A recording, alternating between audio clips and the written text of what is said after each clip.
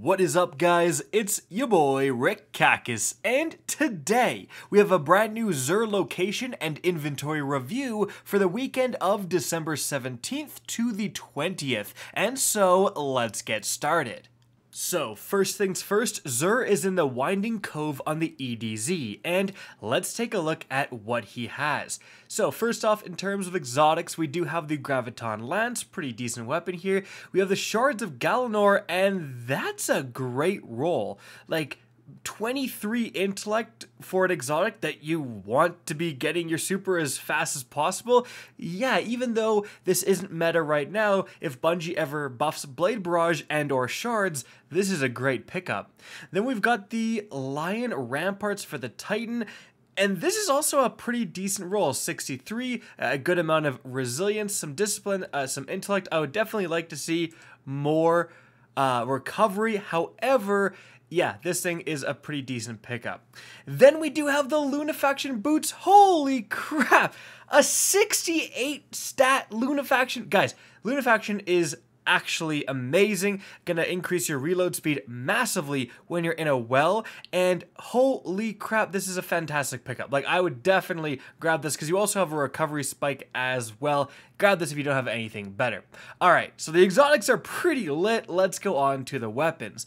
We do have the escape velocity, uh, threat detector quick draw. Eh, you know, that's going to be a very snappy weapon for sure, uh, but I think you can do better. The last dance with under pressure and tap the trigger. This is going to be a very accurate weapon here. Uh, not bad there. Then we've got the cold denial, uh, Zen moment, uh, Eye of the Storm. I frankly think you can do better here. We have the Toil and Trouble with full auto trigger system and moving target. Not a huge fan there. Ooh, we have a first and last out here. And uh, we do have auto loading and demolitionist. Like this is a, a pretty good roll. However, we don't have an extended meg or assault meg here, which definitely does hurt. Uh, and generally, you want Vorpal over Demolitionist, but Demolitionist is, is, still pretty good. So I think this is like a, a decent PvE pickup if you're a new player. Then we've got the Fallen Guillotine, uh, Energy Transfer, and On Guard. Not a huge fan of this, so I'm going to skip that. Then we do have a Royal Entry, and it's a Royal Entry with Clown Cartridge. The moving target is, is definitely not what you want, and we don't have, you know, anything here that's super impressive, so I'm going to skip that as well. All right, now let's look at the exotics here for the Titan. Ooh, 58 stack gauntlets, not spiky at all. Let's skip that. All right, the chest piece does have a decent amount of strength. If you're looking for strength, that's a consideration. The, the helmet also has a pretty decent amount of strength, dang. Uh, but 59 is a little on the lower end. And then we've got these boots here with a decent amount of discipline, a little too much mobility in my opinion though. And uh, let's move on there from the Titan to the Warlock. Alright, on the Warlock, first things first, let me check these Lunafaction boots, 1520 against my own that was using literally last night. It's close, guys. It's close. Like these, these are a fantastic pickup for Lunafaction boots. Like holy crap! All right, now for the Warlock. All right, gauntlets. Not spiky really at all, and 61 is okay.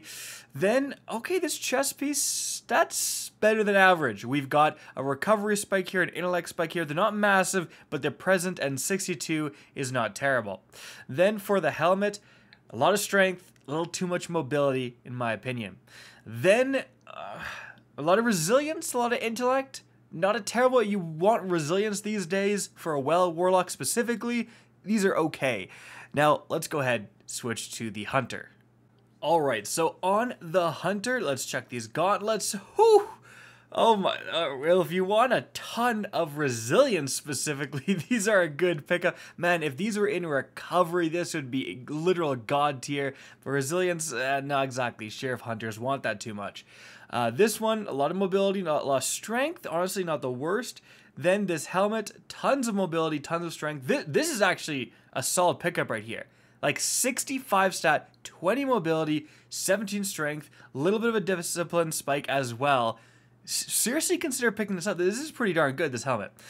And then this leg, these legs, Oh, tons of recovery, but 59 is a little bit on the lower end. Still spiky where you want it to be, and an 8 mobility is not nothing because, again, when you master work it, it goes to 10, which is one extra tier uh, in and of itself. So, yeah, consider these legs as well.